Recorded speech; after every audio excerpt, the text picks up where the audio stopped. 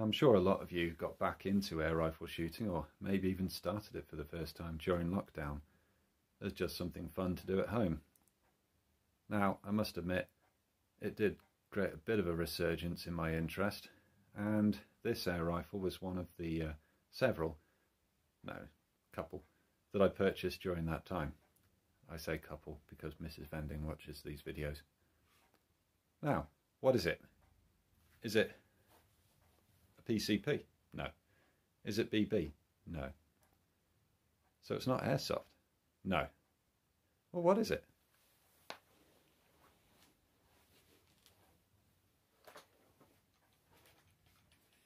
It's break barrel. Air rifle. Okay. So what's it chambered in? It says 5.56 on the barrel. Nope. 177. Is it any good? Oh, it's brilliant. It's so much fun, it's untrue. What is it then? It's the Umarex M4 Colt. Do they still make it? No, they discontinued it, sorry to say. But if you can find one second hand, then you should buy one because they're great.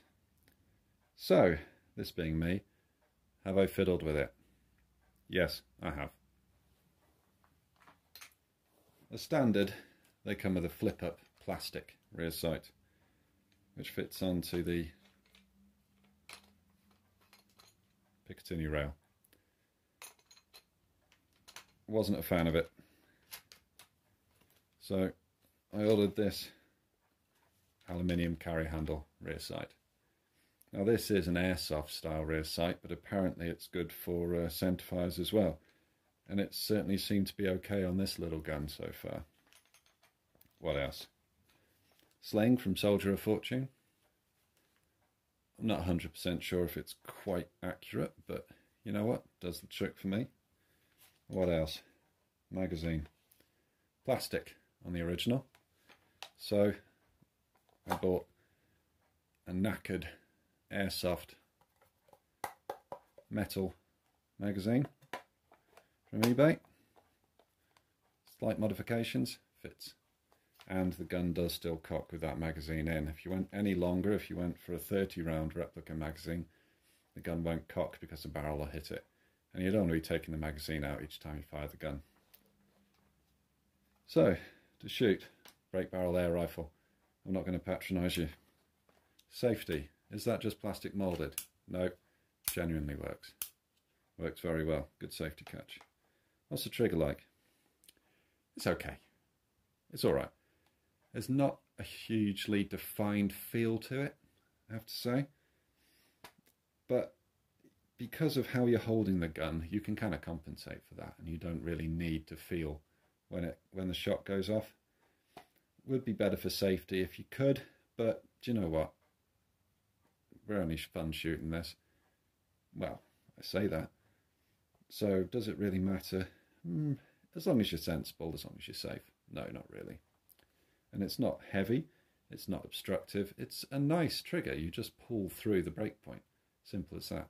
And that's probably because of how far down below the actual cylinder the, the trigger is.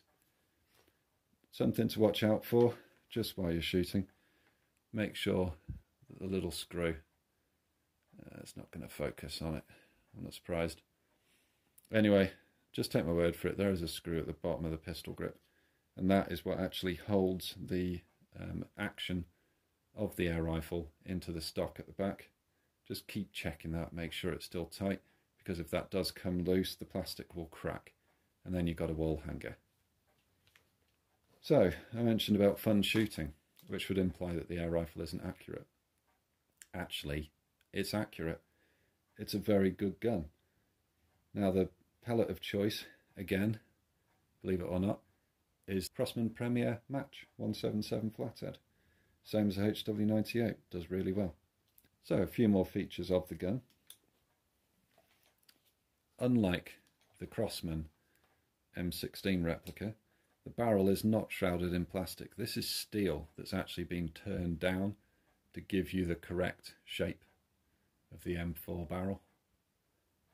Brilliant. I mean, you know, that's just, that's the Umarex touch here as well, where the sight goes. Picatinny rails all over the place on the gun. These covers actually slide off to give you more. Now, I'm not sure quite why you'd want that. Torches and stuff, but when you consider it's a break barrel and you need to hold on to that, then uh, yeah, probably not such a good idea. Butt stock, telescope, telescopic. I need it all the way out to fit my lanky frame. Things like the uh, shell deflector, dust shield there.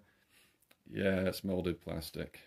The uh, all these controls here, molded plastic again.